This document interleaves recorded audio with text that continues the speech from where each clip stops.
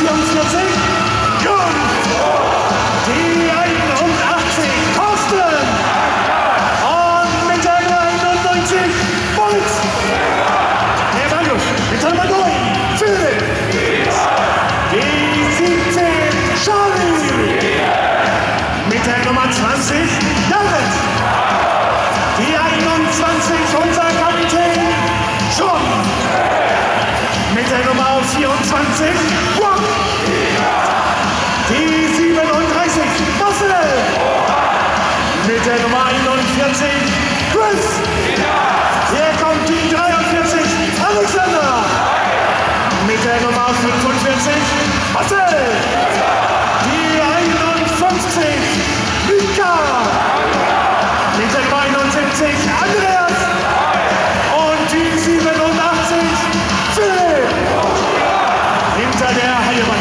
Co-Trainer Heino Hutzelmann und Cheftrainer Uwe Krupp.